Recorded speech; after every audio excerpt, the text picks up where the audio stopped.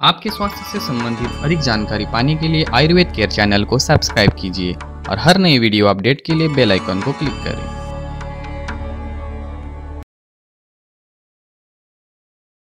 अरविंदासो एक आयुर्वेदिक औषधि है। आयुर्वेद के महान ग्रंथ भैषज रत्नावली के बाल रोगाधिकार अध्याय में इस औषधि का उल्लेख है। इस श्लोक में अरविंदासो बनाने की विधि और उसके उपयोगों के बारे में बताया गया है। आइए जानते हैं अरविंदासों के घटक द्रव्य या इंग्रेडिएंट्स क्या होते हैं। वैसे तो अरविंदासो में कई महत्वपूर्ण औषधियों का संगम है। अरविंदासों के नाम में ही अरविंद है। अरविंद यानी कमल का फूल। इसमें मुख्यतः सफ़ेद कमल, खस, गंभारी की छाल, नील कमल, मंजिष्ठा, छोटी इलायची जटामांसी नागरमोथा, काली अनंत मूल, इसी के साथ हिरडा बेहड़ा और वचा के साथ कई औषधियों का एकत्रीकरण किया गया है। तो आइए जानते हैं इस अरविंदासों के क्या फ़ायदे होते हैं।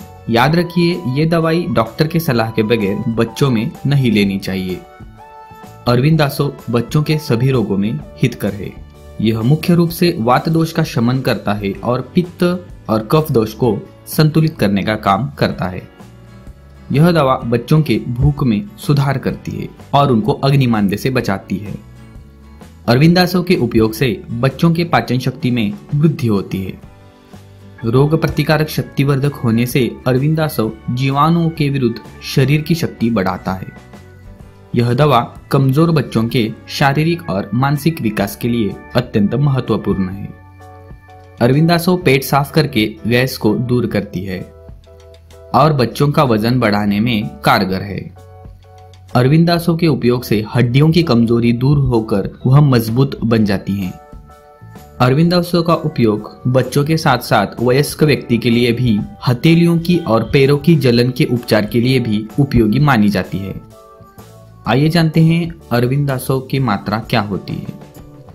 अरविंदासो एक से तीन साल तक के बच्चों को 10 से 20 बूंद, यानी 2 से 3 एम और तीन साल से बड़ों को 3 एम से 10 एम तक दो बार भोजन के बाद पानी की समान मात्रा के साथ देते हैं। याद रखिए, ये दवाई डॉक्टर के सलाह के बगैर बिल्कुल ही न लें।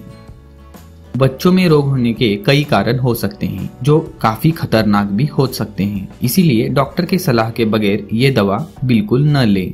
अगर आपको ये वीडियो पसंद आया हो तो लाइक कीजिए। अगर आपके कुछ प्रश्न हो तो कमेंट कीजिए और ज़्यादा से ज़्यादा लोगों तक ये वीडियो शेयर करना ना भूलें। धन्यवाद।